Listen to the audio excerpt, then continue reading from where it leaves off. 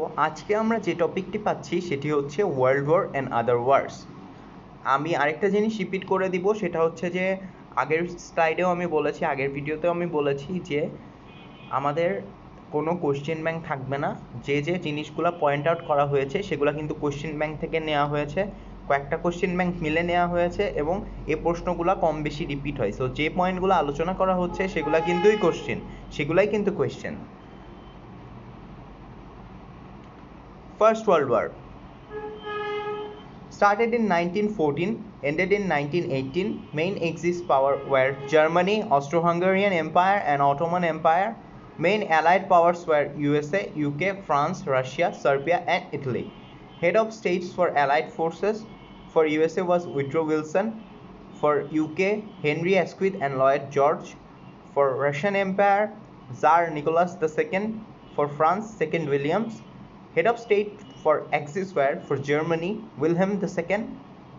End of World War formally by Treaty of Versailles in 1919. Establishment of League of Nations যেটা হচ্ছে প্রিকর্সার two UN মানে UN এর আগে যেটা ছিল সেটা হচ্ছে লিগ অফ নেশন যেটি হচ্ছে নাইনটিন টোয়েন্টিতে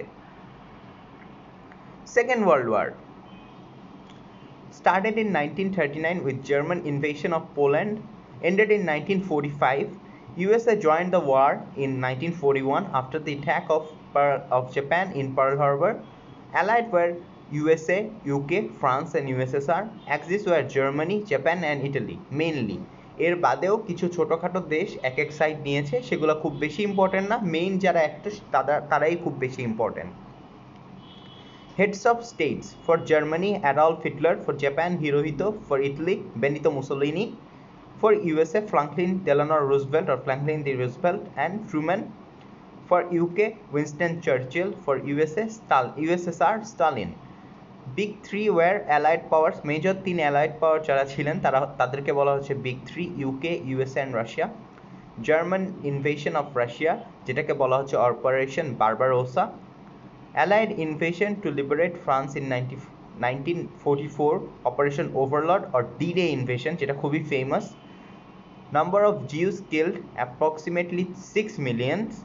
The Jews were killed by German German SS forces normally, যেটাকে বলা হয় জার্মানির ওয়ার ক্রাইম বলা হয়।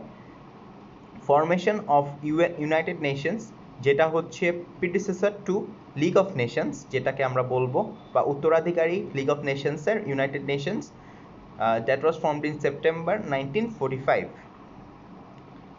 other major wars in history First Opium War between China and UK in 1939 to 1942. First Gulf War was between Iraq and US-led alliance of 50 states in 1990 and 1991 when Iraq invaded Kuwait.